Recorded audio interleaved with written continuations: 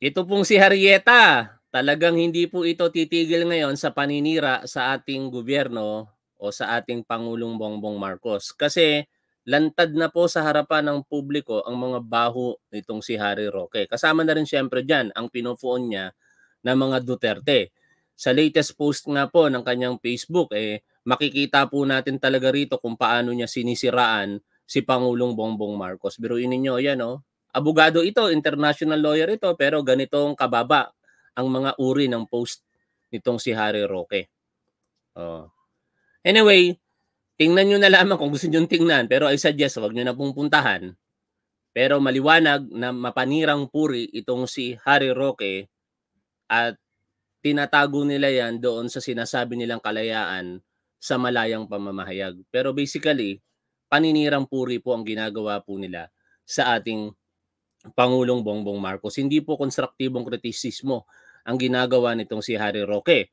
Ngayon, sa latest na balita, kagabi po ito napanood ko, eh ipapatawag po siyang muli nito pong si Senator Riza Ontiveros kasi hindi siya naniniwala o si Riza Ontiveros na wala talagang kinalamang sa legal na pagbibigay ng serbisyo itong si Harry Roque.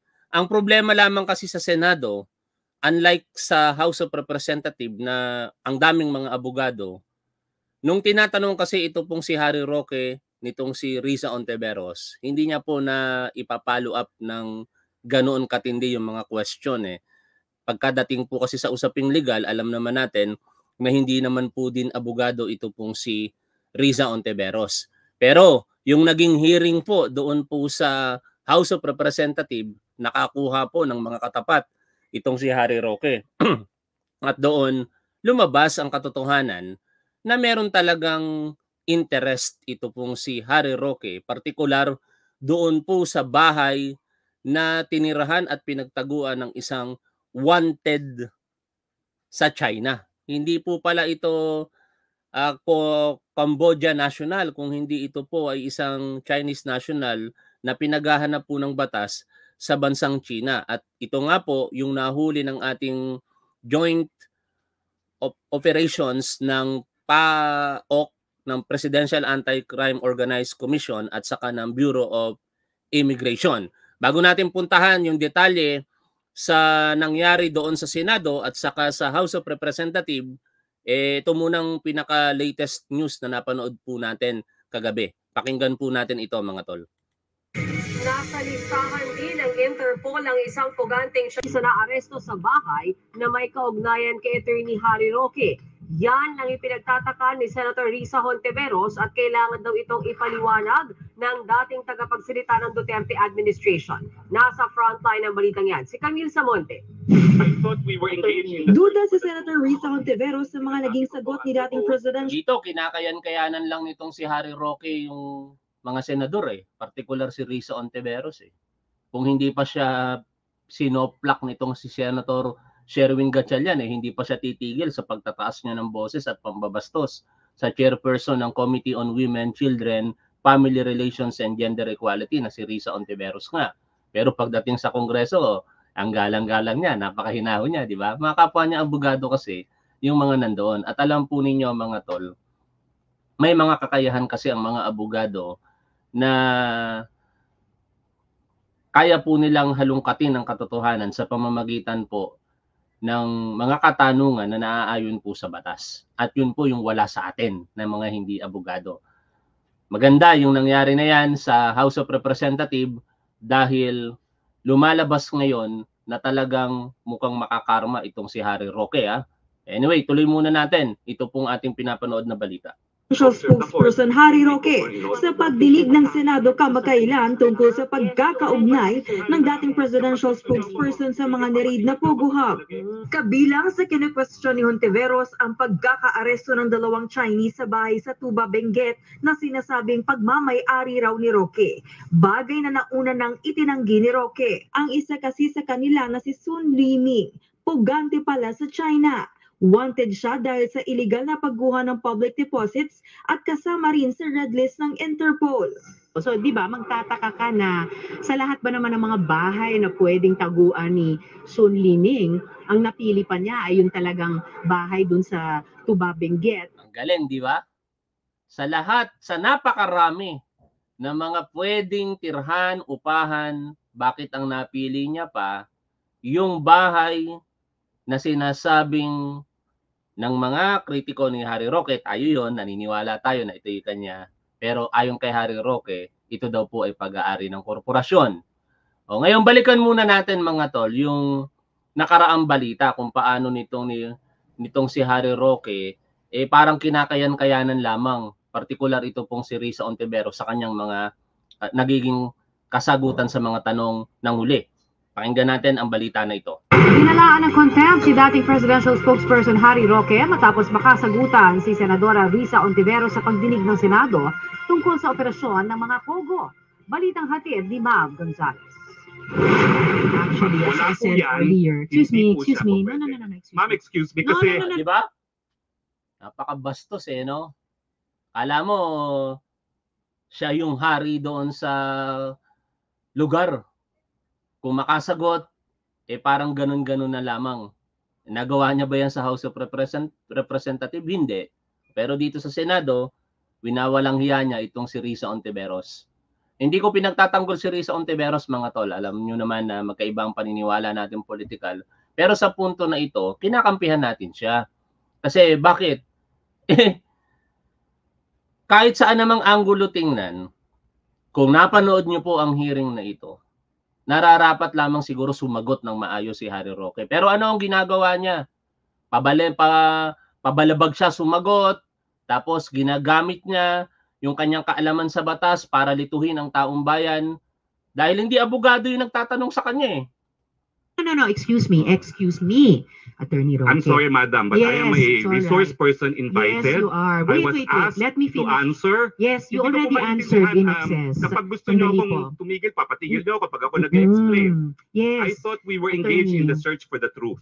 Uh, Attorney Roque, please be reminded to respect the chairperson. One more. I and will- apologize. I will cite you in contempt.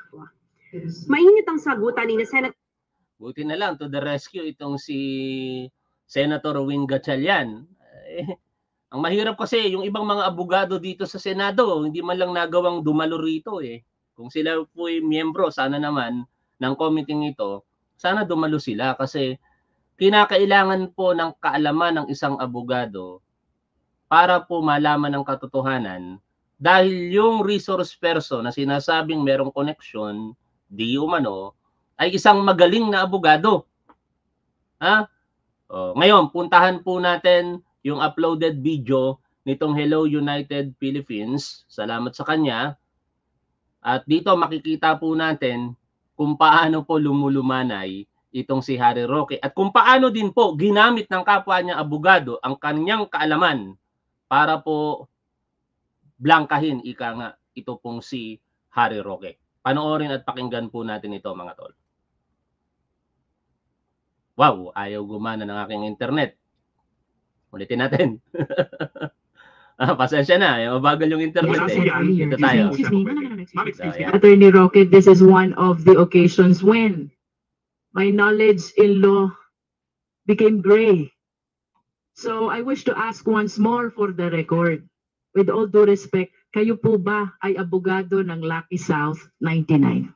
Hindi po, wala po akong attorney-client relationship sa kahit sino na shareholder or officer. Napakagalang, di ba? Samantala, pagka sumasagot siya kay Risa Ontiveros, eh, akala mo siya yung boss doon sa committee kung saan siya ay resource person. ng Lucky Star. From the Lucky answer of Attorney Roque, Mr. Chair, I wish to share to the committee the case of Eusebio Sison versus Attorney Lourdes Dumlao. This is AC number 11959, April 28, 2021. If I may quote, lawyer-client relationship is established when lawyers consistently manifest to a person consulting them that they would provide legal representation or assistance regardless of the close ties between the parties or the lack of written contract or the non-payment of legal fees. It is very clear, Mr. Chair, that from the definition of a lawyer-client relationship, kahit walang kontrata, kahit walang payment of legal fees, the moment the client starts seeking advice, Pero dahil nga abogado, magaling din sumagot talaga itong si Harry Roque. Ang sinasabi kasi dito mga tol, ang kanyang kliyente ay hindi po ang Lucky South 99, kung hindi ang Whirlwind Corporation na nagpapaupa sa Lucky South 99. Pero ang pinupunto po nitong kongresista ay yung tao na representative po ng Lucky South 99 na si Cassandra Leong. I hope tama yung pagkakaalala ko sa pangalan. Ito pong babae na ito ay sinasabi din po, segue tayo ng bahagya, banggitin ko lamang ito, na girlfriend di umano ng kapatid nitong si Go Waping na nagpakilalang Mayor Alice Goo na si Wesley Goo. Kaya lahat connected sa isa't isa mga tol eh. Ang tanong ng kongresista dito, eh papaanong mangyayari na ikaw yung gumagawa ng kaparaanan, tumatawag sa abogado sa PAGCOR para maproseso yung kinakailangan ng Lucky South 99. Eh, hindi ka abogado ng Lucky South 99. Pero bakit ikaw yung nag engage Ang sinasabi ni Harry Roque, eh, tinutulungan niya lang daw po itong si Cassandra Leong. Pero ang tanong, bakit niya kailangan tulungan? Pangalawa, bakit itong si Cassandra Leong sa dinami-dami po ng pwedeng tumulong sa kanya, bakit si Harry Roque pa na napakalawak ng impluensya at dating presidential spokesperson. Yan po yung mga naglalaro sa isipan ng publiko, eh partikular na rin dito po kay Congresswoman Louis Tro kung bakit niya po ngayon tinatanong itong si Harry Roque. Tuloy po natin ang pakikinig dito mga tol. and the lawyer starts giving advice, a client-attorney relationship is created. Can we be enlightened in this, Mr. Chair, from Attorney Roque? Uh, Attorney Roque, you are now uh, recognized. Mr. Chair, tama po yun. Ang problema, wala pong kahit anong konsulta na, nang, na nangyari sa panig ko at sa kahit kanino sa panig po ng Lucky South. Kaya miski wala pong bayad, wala pong kontrata, wala rin po kaming komunikasyon. Dahil ang komunikasyon ko po Eh, ang problema nga kasi mga tol, katulad ng pinupunto dito nitong kongresista, si Cassandra Leong ang opisyal na representative ng Lucky South 99. At ang itinutulong niya sa sa tao na ito ay para tulungan na ayusin ang mga kinakailangang ayusin sa pagkor. Ang point ni Congressman Luistro, kahit hindi ka binabayaran, kahit hindi partikular yung Lucky South 99 ang nag-engage ng legal na serbisyo sa iyo, considering na yung representative ng Lucky South 99 at yung business ng Lucky South 99 ang concern na tinutulong mo, eh nagkaroon daw po ng client lawyer relationship dito. O sige, tuloy po natin. Anyway, mga usap ng abogado po ito ha, tayo nagre-react lang po dito. Kasi ang sasabihin dito ni Harry Roque sa huli, sa kanyang legal na paniniwala, mali, syempre, itong si Congresswoman Luistro. po lahat po yan ay kikasiong lamang. I understand, Mr. Chair, that the statement of Attorney Roque, he was never consulted by Lucky South 99. But he has been repeating a while ago that Cassandra Leong is the representative of Lucky South 99. Is it not that the consultations made by Representative Ong with Attorney Roque, the consultations as well that was made by Lucky South 99 with Attorney Roque, Mr. Chair? Mr. Chair, gaya na aking sinabi po kanina, ang aking attorney-client relationship ay kay Cassandra Ong at kay Whirlwind. dahil sila po ay umakto bilang ahente ng Lucky South pero hindi ko po naging kliyente ang Lucky South. Para po siguro malinaw, it's an, it is an instance where both Whirlwind and Lucky South will benefit kung magtutuloy ang negosyo ng Lucky South. Still, concern pa rin ng Lucky South 99 yon. Di ba? Kasi kung ang sinasabi nitong si Harry Roque na siya ay abogado ng Whirlwind Corporation, aba, ang layo naman nun para pakialaman niya pa yung concern ng Lucky South 99. Who cares kung anong mangyari doon sa Lucky South 99 kung ikaw ay abogado ng Whirlwind Corporation? Ang titingnan mo lamang yung interest ng Whirlwind, hindi yung interest ng Lucky South 99. Ginagaslight nitong si Harry Roque eh, ang mga Pilipino by saying that na parehas na interest ng Lucky South 99 at Whirlwind Corporation na kailangan yung Lucky South 99 mabigyan ng lisensya ng PAGCOR para magpatuloy pa rin yung pag-upa ng Lucky South 99 ah, dito po sa Whirlwind Corporation. Pan maliwanag po iyon na panggagaslight mga tol pero ang katotohanan hindi maikakaila na itong si Harry Roque ay talagang tinutulungan yung representative ng Lucky South 99. At kung tinutulungan niya ang representative ng Lucky South 99, definitely nakapagbibigay po siya ng serbisyong legal whether bayad siya o hindi para po sa Lucky South 99.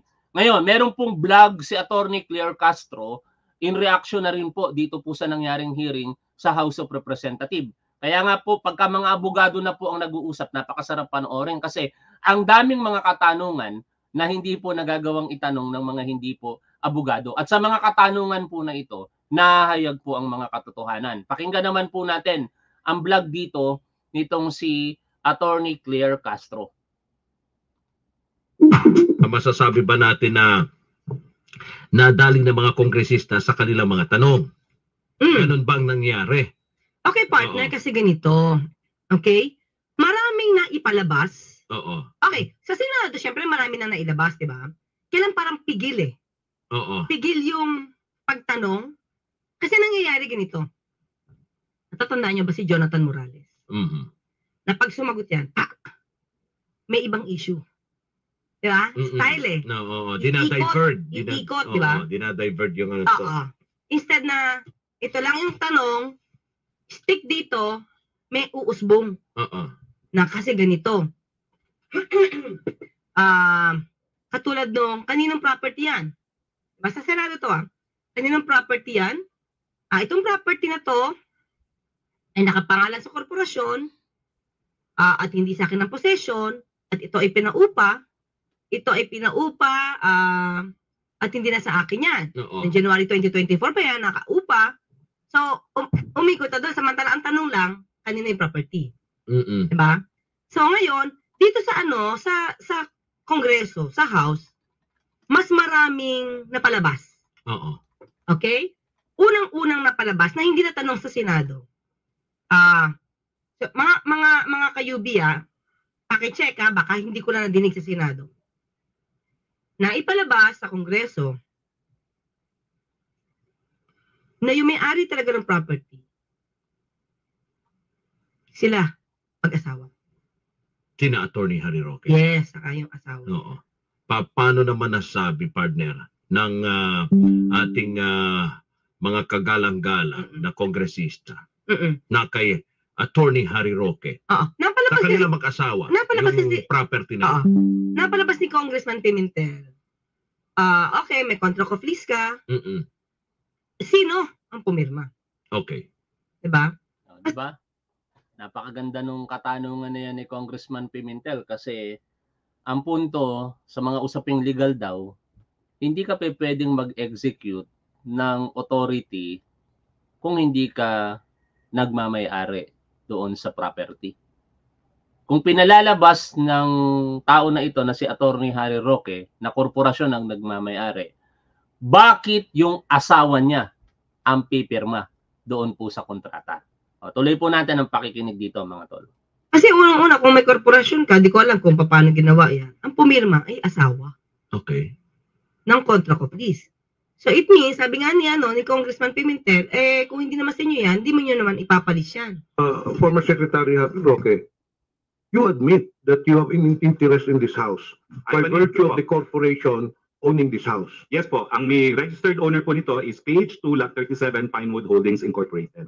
In turn, it is owned by a holding corporation called Biancham. Now, ang totoo po nito, I will have no more interest in Biancham, according to our organization, but I will have full interest in PH2 Lot 37 Pinewood Holdings as part of our division no, within the uh, holding corporation. Pero ang punto po is, meron po kami contract of lease na ang pumirma po ay isang babae. Ang pangalan po niya ay Yun 1. At ito po ay dated January 15, 2024. At uh, doon po sa pirmahan ng uh, contract of lease na notaryado, pinresenta po niya ang kanyang uh, passport at required din po siya na magpresenta ng Indian Certificate of Registration para patunay na legal po siya sa Pilipinas. And I would like to submit a copy of this contract of lease uh, to this um, uh, body. And likewise, I don't think you have a copy of my contract of lease yet, so I will also provide this with uh, to the uh, PAOK. No?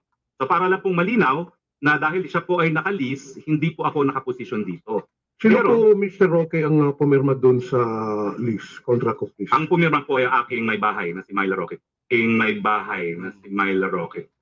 So you are aware of this contract of lease? I'm aware of this contract of lease with this uh, woman po. No? At ako nga po ang nagsabi na But you have never met this person? I've met her po. Di sa kanila, sino Ah. dapat ang pipirma doon partner? Kung yun ay Ay, yan. ah kung yun ay pagmamay-ari ng korporasyon. Oo, kung yun ay pag-aali may korporasyon, Oo, ba't si- kayo lang yung sino dapat nagmamanage? ang authorized as ano doon? Hindi, partner? dapat may SPA. Okay. May SPA yun. Ano, no, sorry. Meron dapat yung board reso. Oo. O sino magpapaupa. So, nagtanong niya, sino pumirma? Yung asawa ni Atty. Harry Roque. Si oh, di ba kung ito ay may board reso, na yung asawa niya yung authorized representative to sign for the corporation, dapat ilabas na. Okay. Yun, Kung- di ba? Mga usaping legal yan, mga tol, ha? Kasi pag-aari daw ng korporasyon yung bahay, eh.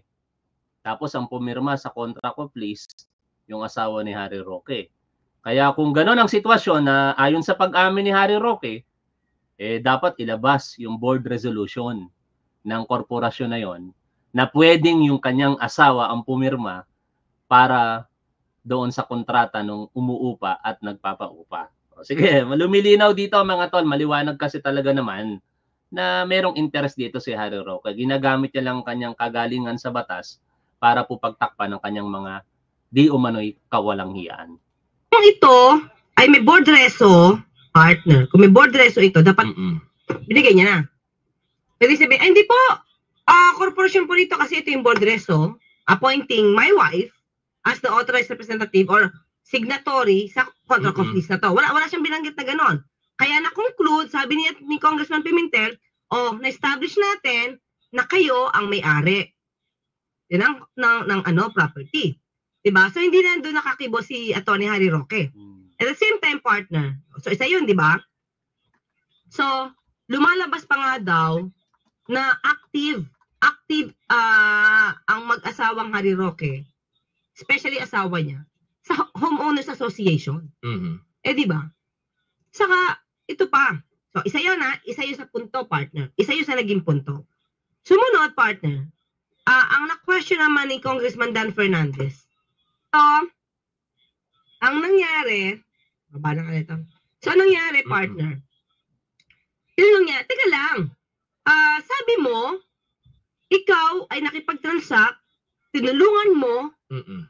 ang whirlwind, si Cassie, partner, si Cassandra to, tinulungan mo si Cassandra na ayusin yung yung dokumento, susin yung mga requirements ng ano ng ah, Lucky South Oo. 99. So ang lumalabas nun partner. Sabi ay teka lang hindi po kasi service provider. Partner na take up na natin to during hearing, ay during hearing. During sa last hearing, ano natin? Ah during sa ating ah, talakayan no, no nakaraan. Sabi ko, kung service provider yan, di ba dapat may separate yan, SEC registration. May sarili siya dapat na kumpanya. So, lumalabas partner, sabi ni, ni, ni Congressman Dan, eh, dito sa Articles of Incorporation, so lumalabas daw, wala sa Articles of Incorporation yung pagiging service pro- provider. Ito, tinake up na natin to, partner. Tinake Mm-mm. up na natin to. Sabi ko, di ba, magkaiba ang realty at saka ang service provider. Chair, Mr. Roque. Um, Interjection lang. Galing, ano? ako na-amaze ako dito sa mga pinapanood natin mga tol kasi pagdating sa corporate law eh wala akong alam talaga diyan. Hindi ko nga alam kung tama yung terminong ginamit ko corporate law. Wala akong alam diyan. Tayo ay may kaunting kaalaman lamang kapag ka criminal law and jurisprudence ang pinag-uusapan. Eh dito si Harry Roque eh ginagaslight ang publiko eh. Partikular sa Senado nung sumagot-sagot siya rito kay Risa Ontiveros. Pero dito sa mga kongresista, din niya nalinlang. Kasi alam ng mga kongresista being a lawyers eh, yung sinasabi ng batas. At dito, buko na buko talaga siya mga tol. Nanood ako kay Chris Ulo kagabi. Sabi niya nga, ikaw, Harry Roque, ang uh, humuhukay ng iyong libingan. Pero hindi naman literal po yon Ano? Sabi ni Chris Ulo ay pinababagsak ni Harry Roque ang kanyang sarili, ang kanyang particular political career. Patuloy po natin ang pakikinig dito mga tol. Uh, Vice Chair, ito pala lang. I uh, just wanted to find out the uh, Whirlwind Corporation uh, is a Whirlwind Corporation is a real, real realty development corporation. Am I correct? Tama po yan na uh, Mr. Chair at uh, ang uh, kaya po ako unang na, nakilala yan matapos ang eleksyon eh ang nagpakilala po sa akin eh sila daw ay magi-invest sa mga renewable energy projects. Pero uh, Secretary uh, former Secretary Roque uh, sa dinami-dami ng mga pwedeng kuning abogado, no? Bakit kaya ang napili ng Whirlwind Corporation na nagpapaupa sa Lucky South 99 ay isang dating presidential spokesperson? Di ba? Libo-libo po ang mga abogado dito sa Pilipinas. Kung hindi man libo-libo, daan-daan po ang mga law office. Pero bakit si Harry Roque pa? Kaya dito maliwanag mga tol na tingin ko yung influence, yung connection ang isa sa dahilan kung bakit siya ang napili at probably sa akin lang naman opinion ito, hindi ko naman inuhusgahan dito si Harry Roque ay yung magagawa niya. Kasi yun naman yung nakikita natin ngayon, di ba? Tinutulungan niya si Cassandra Leong in particular being the representative of Lucky South 99 para ayusin yung problema sa PAGCOR. Yan naman ay lahat nasa balita. Kaya hindi po yan panghuhusga na galing lamang sa akin, kung hindi reaksyon po natin yan sa mga balita na napapanood po natin. At kung kayong mga tatanga-tangang DD sheets, sasabihin nyo na nagsisinungaling po kami rito, eh talagang tanga kayo. Wala kayong pinagkaiba dito sa ipapanood ko po sa inyo. So as a final note, um, Ma'am Vice President, uh, could you just uh, give us your thoughts on the State of the Nation address? Um, yes. So initially, uh, the SONA, the, SON, the State of the Nation of uh, President Marcos, I think uh, everyone or many of those who do not understand economic numbers were overwhelmed with the numbers in the first part of uh, the speech. That's, that was, I think, the reason why it, take, it, took a, it took a long time for people to start clapping because uh, the economic part was uh, in the uh, beginning, and many people really do not understand economic numbers. But, uh, and um, another um, observation of mine uh, was immediately after the uh, speech uh, of the president while I was going home. I was talking to one of our writers in my office, and I told him that I really liked how the speech was written because I do not write that way, and I truly appreciated uh, the form uh, that that speech was um, composed. And um, as a cabinet secretary and one who is the other, the other half of the unity team, I would say that uh, the state of the nation of uh, address of President Marcos was on point and perfect. Thank you.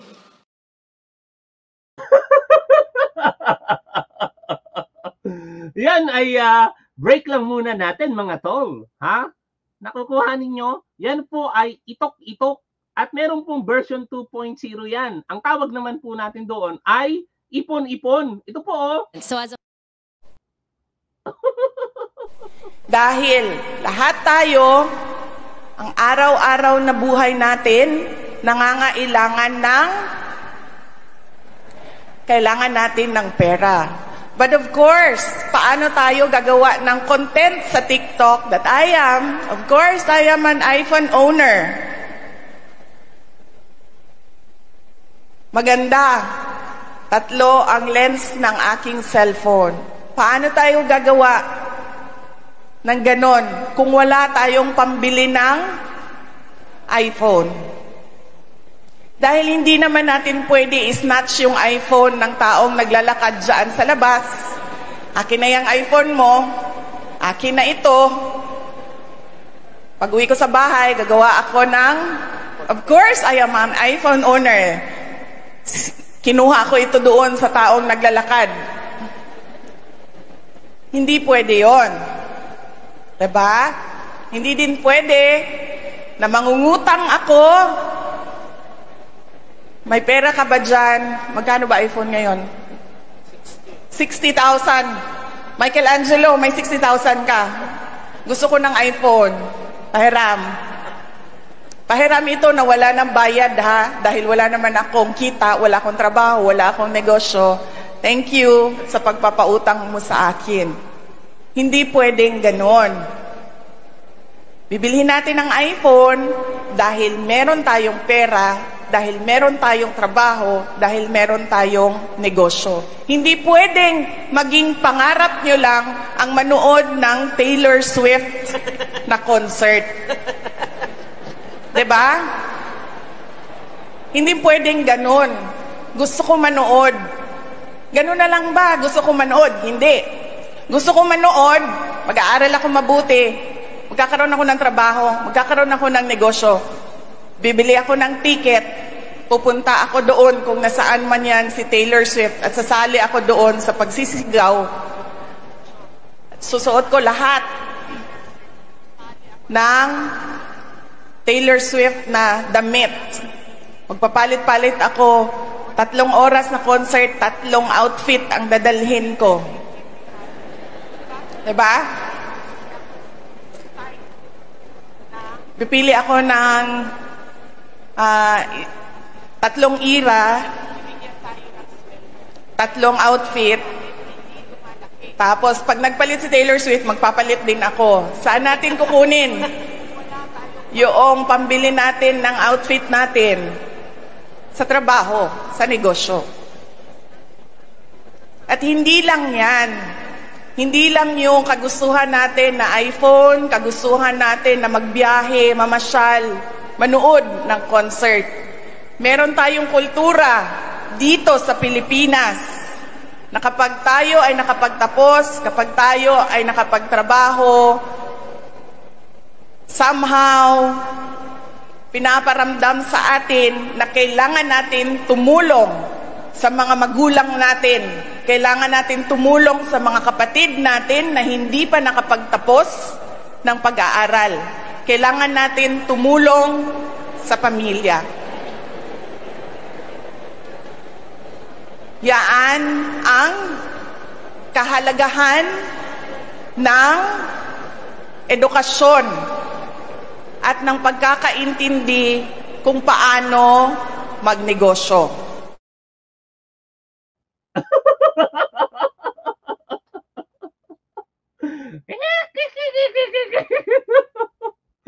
Anak ng teteng na talumpati yan. Ay, nako. Kasalanan niyo yan, mga DD shits. Uh, ganyan na nga yung napapanood niyo, ina- in-upload-upload nyo pa, sumisikat tuloy. That is version 2.0 ng Itok-Itok. We called it Ipon-Ipon. Ngayon, balik tayo dito po sa pinag-uusapan po natin. Napakagaling ng mga kongresista, kaya hindi mapaikot nitong si Harry Roque. Eh. Hindi sila nagpo-provide. No service provide, provide. Hindi sila service provider, in other words. Kasi uh, dito ata sa incorporators, incorporation nila, it's all about realty development.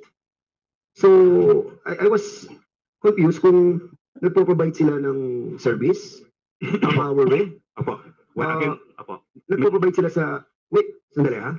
Because in accordance with the um, SEC, uh, ano lang po sila, uh, development, realty development.